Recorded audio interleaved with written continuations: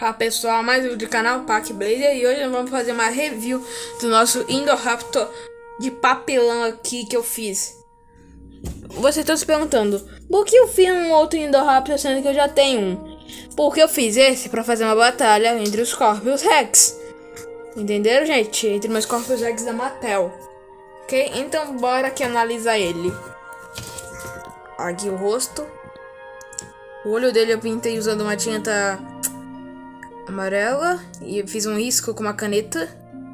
Vai a pupila do olho. Tá bem bom. Os dentes aqui em preto, não dá pra ver. E olha só. Bom, tem outro lado também, a mesma coisa aqui no olho também. Pintei com tinta vermelha e fiz um risco com caneta. Esse aqui tá bem mais melhor do que o outro. É, também aqui não tem como ver os dentes direito, porque tá em preto os dentes a, a listra dele aqui, a listra dele, amarela, as protopenas aqui nas costas e as protopenas aqui também na nuca da cabeça dele, uns espinhos aqui no pescoço dele, que é praticamente tipo Indominus, tem isso, Indominus eu acho, o braço, a, as garras dele e o braço dele as unhas pintadas aqui com uma tinta uma tinta preta. Como ele é todo preto, eu tive que ter pintado de tinta preta aqui, porque a tinta, minha tinta preta é um pouco mais escuro, é mais escuro. Então eu pintei aqui as unhas dele para para ver, para conseguir ver as garras dele. A garra terrível. As outras garras aqui do pé. A garra terrível dele é bem grande. Aqui também é quase a mesma coisa. A garra terrível. A cauda dele é bem curta, mas tá bom. A cauda dele é bem curta. Passei foi cola aqui. Para os braços. Passei também cola aqui no braço para o braço não ficar mole. Para o braço não ficar mole e ficar todo caindo. Isso que aconteceu com o meu Skullcrawler, meu primeiro Skullcrawler, isso aconteceu com ele. As pernas dele ficam tão moles que ele nem conseguia ficar em pé direito. São duas camadas de papelão aqui, eu fiz. Para fazer os braços e as pernas. Agora vamos fazer uma comparação de tamanho aqui. Deixa eu pegar aqui os bonecos. Já peguei aqui, vamos com o nosso clássico Indoraptor. Não praticamente do mesmo tamanho. Mas eu deixei tipo a posição que esse Indoraptor tá. Esse aqui fica maior.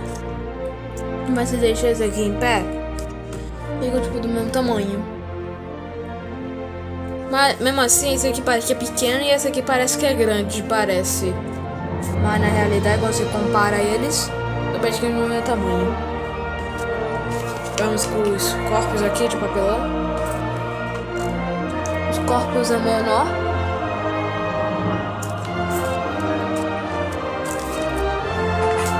Indominus Rex. São do mesmo tamanho. Não, praticamente do mesmo tamanho eles são. Gente, fazia muito tempo que eu não faço uma review de do papelão. Fazia muito tempo mesmo.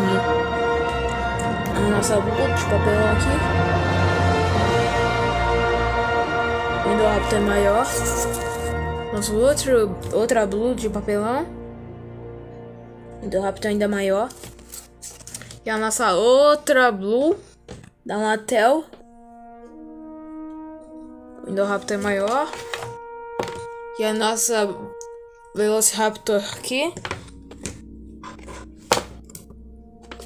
O Indoraptor também ainda é maior. Agora, opa. Vamos com o nosso Scorpius.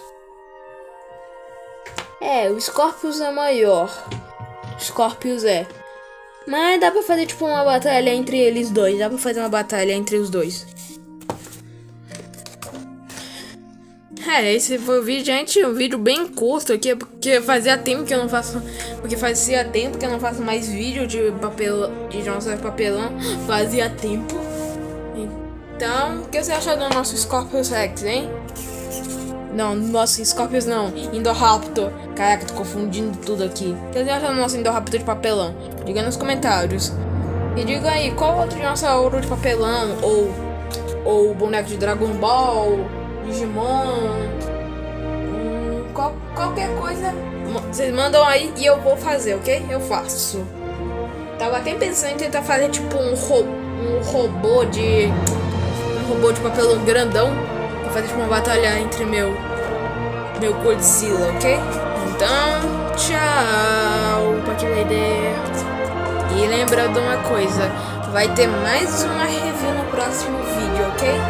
Tchau.